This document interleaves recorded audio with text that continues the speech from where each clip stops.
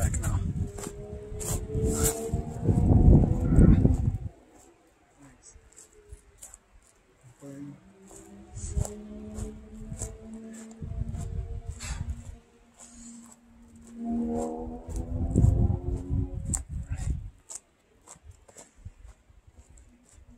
GoPro, stop recording.